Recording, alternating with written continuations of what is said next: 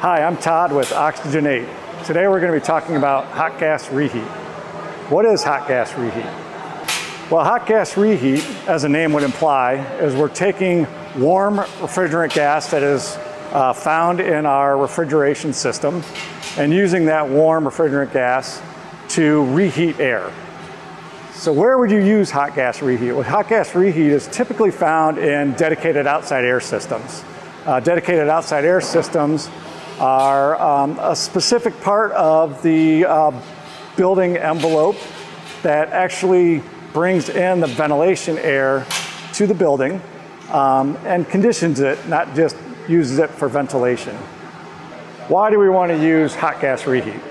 Well, in dedicated outside air systems where we're bringing in, in the summertime, very warm, moist outside air, uh, we want to drive the temperature of that down, uh, not only to remove the temperature so it's not too hot, but also remove the moisture in the air. We don't want to bring in excessive amounts of moisture into the building envelope where mold or mildew can grow on surfaces that may condense from this cold air. So we want to heat that air back up to a more neutral condition so we don't have any condensation and deliver the air in a more neutral temperature and neutral humidity levels that is already in the building.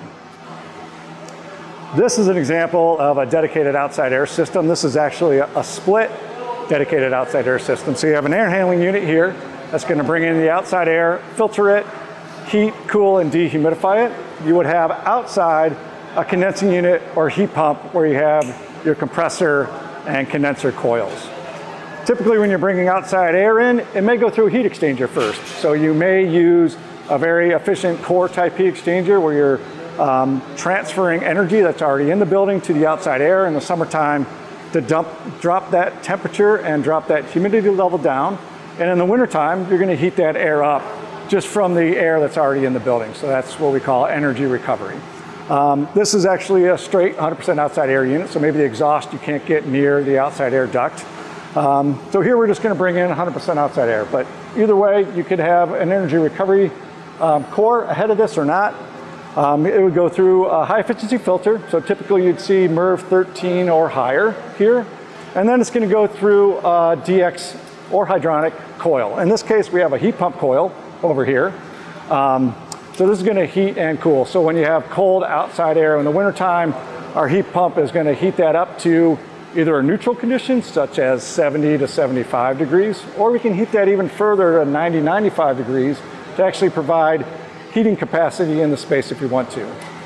In the summertime, we want to cool that outside air and dehumidify it. So we're going to drive the air temperature down across this uh, heat pump coil to 55 degrees, 53 degrees to make sure it's cool and to drive out as much of that moisture as we possibly can.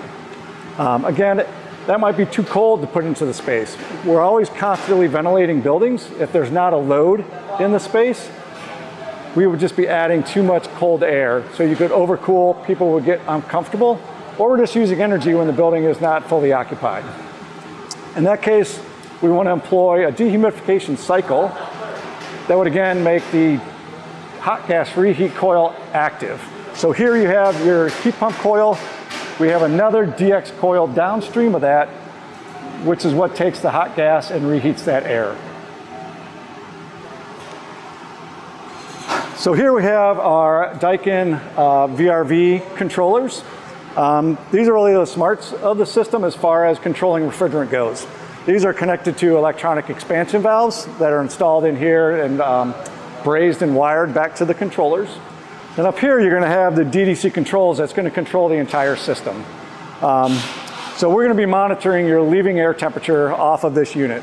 Uh, both temperature, dew point, which is basically your, your humidity content of the air, sending a signal back to these Daikin controllers um, that will regulate the amount of refrigerant that goes into both your heat pump coil and your hot gas reheat coil. So we can dictate the exact temperature, the exact humidity content of the outside air before it gets into your building.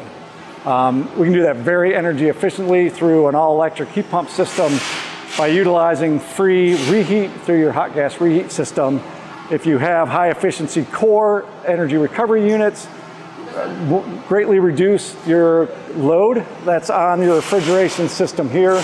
Um, so we can provide a very comfortable, safe, healthy environment indoors. uh, for the occupants and um, have a very low energy solution for you. And that concludes our short little chat today about hot gas reheat and how you apply that to dedicated outside air systems.